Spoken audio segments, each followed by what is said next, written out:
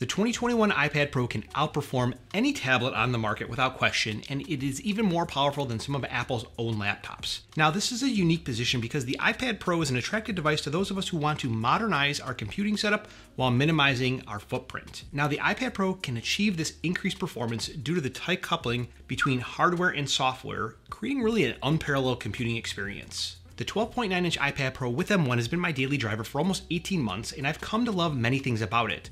Now, there are a few things that I don't love about it, as well as a few improvements that I want the M2 iPad Pro to fix.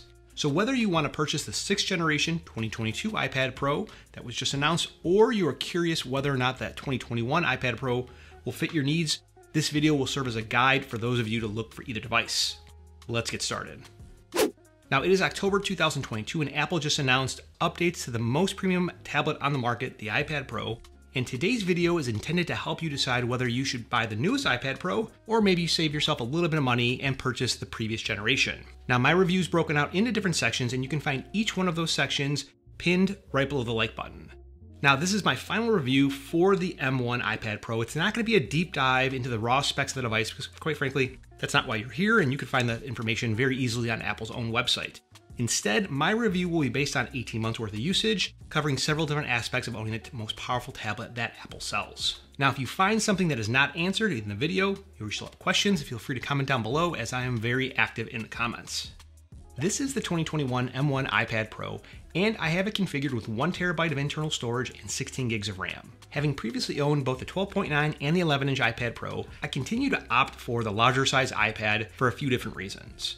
First, I want it as large of a screen as possible so that while I'm working maybe in split screen or in slide over, I didn't want to feel space constrained. Now, even though iPadOS 16 does have Stage Manager, to me, I still want the biggest display possible so I can see my content on as big of a screen and be able to interact it, you know, very freely. Second, I wanted to use the iPad Pro for more and more of my general computing tasks, meaning that I most often find myself using the iPad Pro, you know, either with a keyboard, with a mouse, in a keyboard case like the Magic Keyboard. Now, like most of you, my typing speed and accuracy go up if I'm using a larger keyboard, and the 12.9 inch iPad Pro is really the only reasonable choice. The 11 inch Magic Keyboard is just a little bit too small for my liking, and my fingers feel a little bit cramped, and I don't have that speed and accuracy that I really like to have. As configured, this portable powerhouse sells for $1,799 and it's Wi-Fi only. I decided to add 5G for an extra 200 bucks, bringing the total up to $1,999. Now, many of you are probably shaking your head thinking, why on earth would you buy a cellular enabled iPad when you can just tether to your iPhone? Now, I think that if you are spending this much money on a tablet, and the tablet is really designed around portability and versatility, you're doing yourself a disservice by not adding 5G because the device itself really kind of excels while being used out and about. Whether or not you agree with me, I do have an entire video here that I'll link in the cards above that goes through my entire thought process a little bit deeper on why I add 5G to all my devices, which you can check out if you want to. Truth be told, I have not found the 2021 M1 iPad Pro to have any significant shortcomings with my use cases, and I'm pretty sure that it would be sufficient enough for many of you that are even out there watching this video right now. Save yourself some money. The design of the 2021 iPad Pro is essentially the same as it's been since 2018 with only some minor changes to it. And the M2 iPad Pro carries forward the design having the same exact dimensions. The fifth generation iPad Pro is 42 grams heavier and slightly thicker than the fourth generation A12Z iPad Pro, and the new iPad Pro has the same exact weight, coming in at 682 grams. Now, unless you are intimately familiar with the fourth generation A12Z iPad Pro, you held it on a daily basis, you're really not going to notice the thickness or weight difference because it's not, it's, you know, it's very nominal. Now I do have a section coming up later in the video where I talk about accessories, so make sure that you stay tuned. The Liquid Retina XDR display is one of, if not the most defining features of the 2021 iPad Pro, and I am a massive fan of using it. This makes using the device an absolute pleasure to use whether you're using the iPad Pro to binge the latest show on Netflix, or to write your novel. The display resolution on the 12.9 inch iPad Pro measures 2732 pixels wide by 2048 pixels high. This makes a display a 4x3 aspect ratio with 264 pixels per inch. Comment iPad Pro Max down in the comments below if you're like me and you want Apple to release a larger iPad Pro.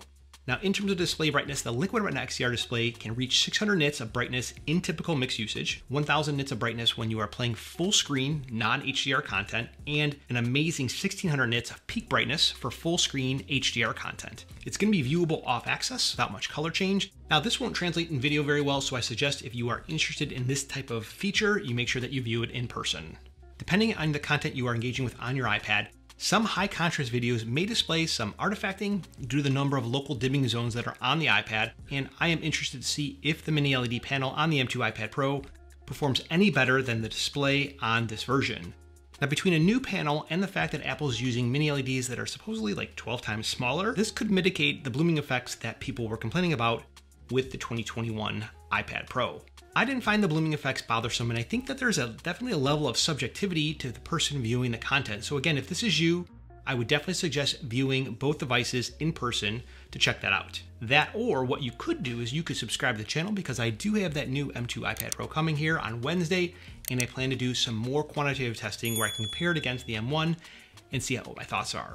If the iPad Pro had a superpower, it would almost certainly be flexibility. That is because the iPad Pro is both powerful and conformable, allowing you to work almost anywhere you want find yourself. On top of that, the iPad Pro adds a little bit more flexibility because uniquely you can choose how much RAM you want your iPad Pro to have. The iPad Pro is available with either 8 or 16 gigs of RAM, and the caveat is that the RAM is tied to how much storage you want on that device. So you'll get 16 gigs of RAM with either 1 or 2 terabytes of storage, while all other configurations have 8 gigs of RAM. Now, this is kind of like a forcing you to spend more money to get st additional storage on the device with the benefit of having more RAM, but in my opinion, I don't think that most people need this. Now, whether you're buying your first iPad or your next iPad Pro, there's a very good chance to assume that you don't need to purchase a higher tier configuration because it's not going to be money well spent, in my opinion. Now, most of the apps that I use as part of my workflow are not RAM intensive. Now, that's not saying that uh, your apps are not RAM intensive, but I don't necessarily see the benefit of having more RAM I think it's not as significant as most people think or hope. Now, you might say that Stage Manager and external display support are reasoning to go ahead and do so, but I don't think that most people are going to benefit from that. And unless you're using your iPad in that configuration with an external display, I would definitely suggest researching it before spending the extra money. Regarding storage, I don't think that 128 gigs is really appropriate for anyone, and I would purchase 256 gigs or maybe even 512.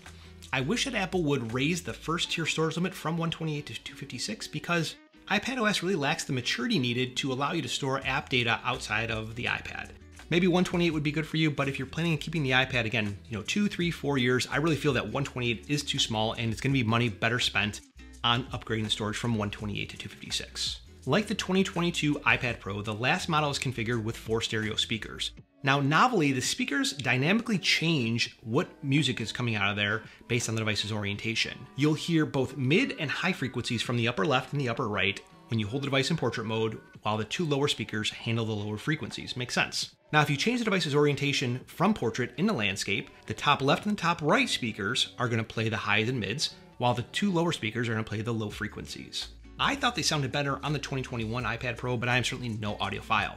Now you also get spatial audio with the 2021 iPad Pro as a feature that's carried forward in the new model, but I hope that Apple's really able to push the speakers forward and continue to improve the iPad Pro's sound quality and audio experience. Now, obviously, the device's cost does not include such accessories as the Magic Keyboard and the Apple Pencil, which cost 350 and 130 respectively. If you have an older iPad Pro, something older than the A12Z, which is the fourth generation iPad Pro, your accessories that you have, minus the Magic Keyboard and minus the Apple Pencil, will not fit because of the thickness of the new iPad Pro from fifth generation going forward.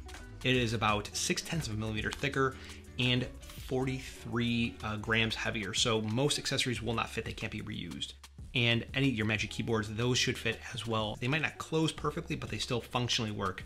And who wants to spend $300 on a new Magic keyboard? That's just ridiculous. No one wants to do that. Now, I want to see Apple address three major things for me in the M2 iPad Pro, and I think it's feasible that they do address them based on what I've read and what I understand about the iPad Pro uh, that's coming out in a few days here. So, first and foremost, I'd love to see them re engineer the backlight design on the mini LED for better efficiency. I probably get about six, seven hours worth of screen on time uh, most days. On some days, I get less than five, depending on what I'm doing, and I have to recharge my battery mid to late day to only to get, you know, make it through the next day.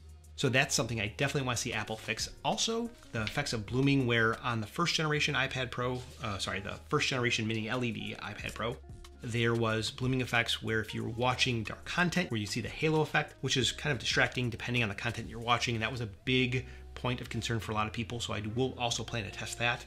And the third thing I want to see Apple fix is going to be the front facing camera. It's really soft in anything less than perfect light. Now, even though Apple's using the same camera hardware, They are using a new ISP, which does allow it to record ProRes as well, which is a really great feature that I'm surprised that they are doing that. So those are the three things that I want to see Apple fix. Now, in terms of whether it's worth for you to upgrade, if you are coming from an M1 iPad Pro, I would say, I mean, if you have the money, go ahead and do it. I'm not going to tell you what to do with your money, but I don't think it's money well spent. But if you have a 2018 iPad Pro or even later, I'd say it's a, probably a pretty good upgrade. The things that make it worth it in my mind are one, having the mini LED, having more processing speed, having a bigger GPU, and those things that come along with it, the neural engine and so on. But for most people, again, if you have something that is you know newer than A12Z, you probably shouldn't upgrade. A12X and below, you are absolutely the right person for this. And I think if I were you, you know, depending on where you were going, um, it's probably not a lot of benefit in upgrading to the M2. You're probably better off going with the M1. M2 is just a real hard thing to justify upgrading. From Apple's perspective, if it's not broke, don't fix it. I want to know what you're to do. Let me know down in the comments below. My name is Mike. I have that iPad Pro coming on Wednesday, so make sure you're subscribed so I can test all those things with you. If you want to see something tested, let me know down in the comments below. Guys, I will talk to you in the next one.